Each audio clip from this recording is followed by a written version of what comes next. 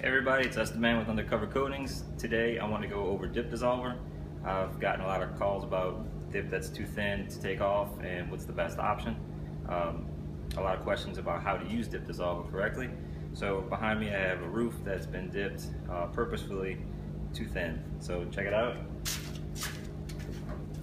Small thin pieces, try to feel it, it just breaks off. It's kind of hopeless. So today I wanted to kind of go over a good way to use dip dissolver and to get the best results from it.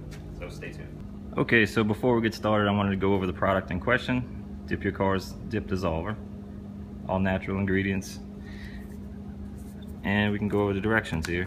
On the bottle it says, focus on one panel and area at a time. Spray one full wet coat in the dipped area. Let the product saturate onto dip for five full minutes.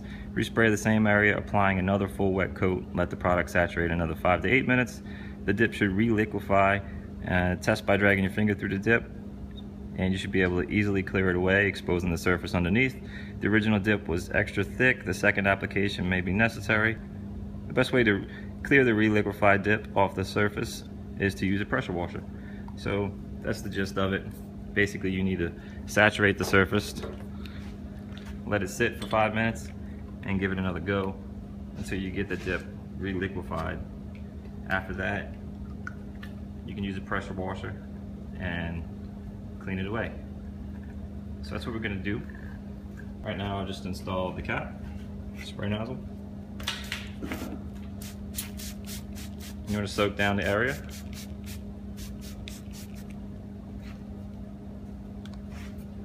And let it sit for five minutes. So I'll finish doing that and get back to you.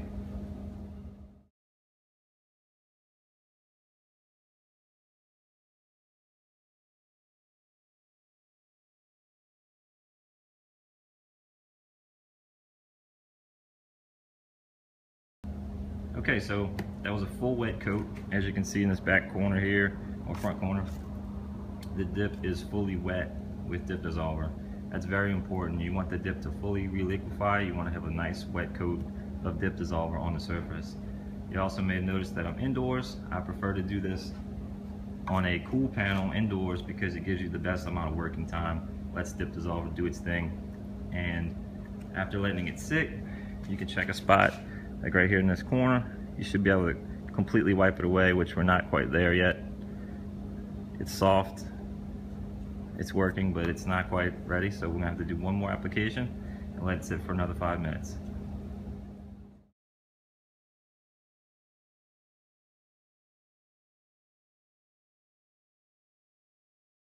Okay, this is the second application that has been done. It's been sitting for about five minutes. And as you can see now, it easily wipes away with your finger. And that's what you want on the whole surface. You want it to be fully reliquefied and the entire surface to just be able to be wiped away with your finger before you start using the pressure washer. Uh, one little note too, um, this is a pretty strong smelling citrus product, so you may want to have a little mask on. It's not necessary, but just a little quick tip. And now we're going to move outside and hit it with the pressure washer and show you that step.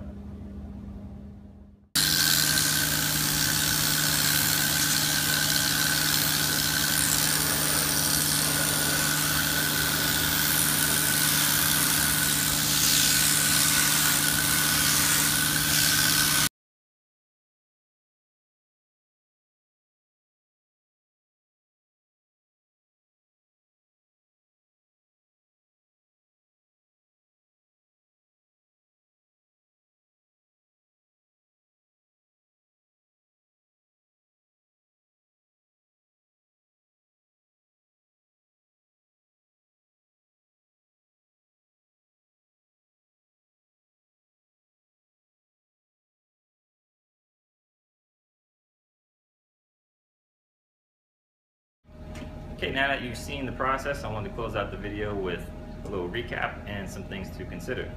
First off, five to 10 uh, minutes in between coats. You want to do about two coats. And most importantly, you want to test before you move on to the pressure washer.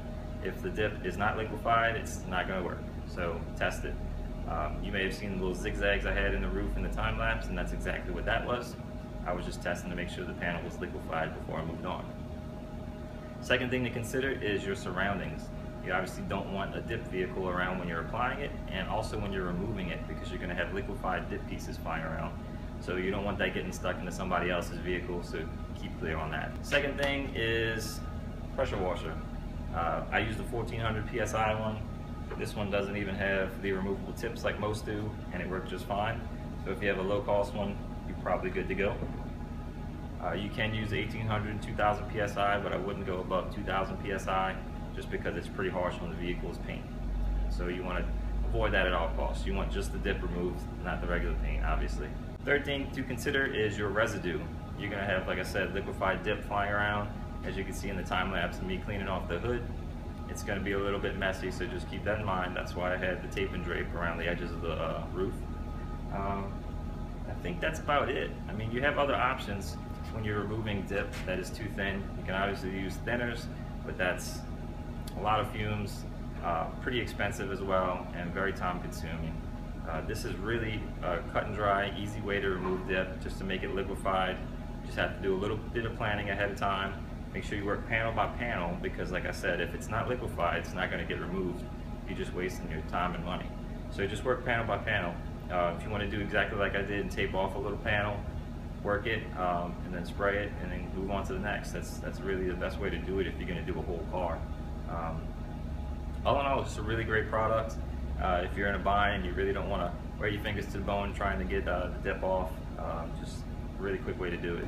So hopefully that video helps you out and you can use Dip Dissolver in confidence. We usually keep it in stock here at Undercover Coatings along with other Dip Care products such as BDP Wheel Cleaner, water-based tire shines, and Dip Coat.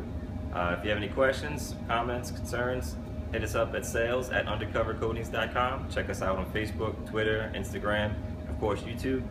Please like and subscribe. It's very much appreciated. Thanks.